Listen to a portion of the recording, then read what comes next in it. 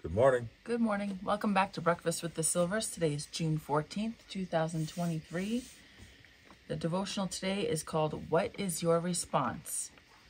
From Hebrews 4:16. Let us therefore come boldly to the throne of grace that we may obtain mercy and find grace to help in time of need. And you're in Hebrews 4. Mm-hmm. Therefore, I'm sorry. Let us therefore fear, lest a promise being left us of entering into his rest, any of you should seem to come short of it. Hmm. For unto us was the gospel preached, as well as unto them, but the word preached did not profit them, not being mixed with faith in them that heard it. For we which have believed do enter into rest, as he believed, as he, I'm sorry, as he said, as I have sworn in my wrath, if they shall enter into my rest, although the works were finished from the foundation of the world. For he spake in a certain place of the seventh day on this wise, and God did rest the seventh day from all his works. And in this place again, if they shall enter into my rest, seeing therefore it remaineth that some must enter therein. And they to whom it was first preached entered not in because of unbelief. Again, he limiteth a certain day, saying in David, Today, after so long a time, as it is said, Today, if you will hear his voice, harden not your hearts. For if Jesus had given them rest, then would he not afterward have spoken of another day? There remaineth therefore a rest to the people of God. For he that is entered into his rest, he also hath ceased from his own works, as God did from his. Let us labor therefore to enter into that rest, lest any man fall after the same example of unbelief. For the word of God is quick and powerful and sharper than two, any two-edged sword, piercing even to the dividing asunder of soul and spirit, and of the joints and marrow, and is a discerner of the thoughts and intents of the heart. Neither is there any creature that is not manifest in his sight, but all things are naked and opened unto the eyes of him with whom we have to do.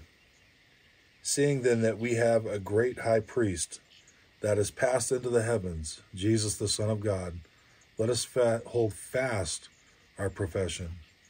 For we have not an high priest which cannot be touched with the feeling of our infirmities, but was in all points tempted like as we are, yet without sin. Let us therefore come boldly unto the throne of grace, that we may obtain mercy and find grace to help in time of need.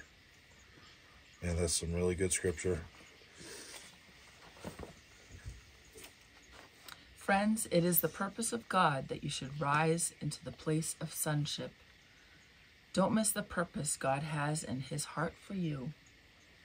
Realize that God wants to make you the first fruits, James 1:18, and separate you unto himself. God has lifted some of you up again and again. It is amazing how God in his mercy has restored and restored, and whom he called, these he also justified, and whom he justified, these he also glorified. Romans 8:30.